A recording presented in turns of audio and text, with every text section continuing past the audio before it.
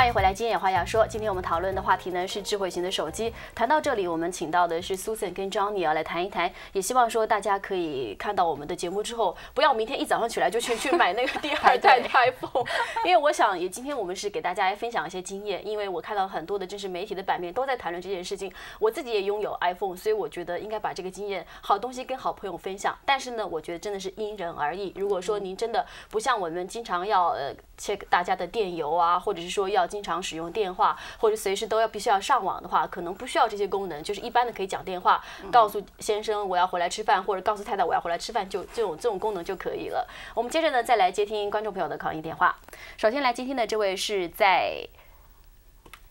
Mountain View 的池先生，你好。你好，我我是 Mountain View 的，那我就说一下 iPhone 很好用，就是我去年我我也是第一代的用户，那我去年因为有 iPhone 以后，第二个月和朋友我们去圣地亚哥去那边去玩，然后我们在那个好像是墨西哥城吧，离那离那个墨西哥一个小墨西哥城就在圣地亚哥的。那我们吃完饭的时候，我们的那个车很大的车就被那个好像被剥过来了，就是被被他们偷偷一些东西，然后被那些强盗啊好像小偷，然后然后我就马上用我的 iPhone 找他那个轰亨达的那个。dealer，然后又给警察打电话，然后非常的方便，就是用他那 Google Map，然后是用他上网的功能，我就觉得我的朋友很 amazed，所以说我觉得这个很好。另外还有一个就是说，在网上也知道有一个美国人给他九十多岁的祖母买了 iPhone，的祖母好像也很喜欢。就是说老人家都可以会用这么简单的高科技。谢谢您，谢谢池先生。我们接着来接下位的观众朋友，这位是在 Sarah Field 的谭女士，你好。谭女士，请讲。哦，谭先生啊，请讲。呃嗯，不是谭先生，是哦，陈先生吗？哦，请说。哎，那个刚才呃，江女有提到，就是说那个指甲水晶指甲，说这个尖锐的问题啊。我上次在雅虎上面有看到一个新闻，就是说，呃，真正长指甲女士可能用起来会有困难，因为它本身的并不是单纯接触，它是靠静电的方式，所以必须要真正皮肤的接触到。我所了解是这样，给你们参考。哦，好，谢谢您特别警告刚才那位赵小姐。好，我们接着来接下一位的观众朋友，这位是谭女士吗？您好。哎，你好。嗯，请讲。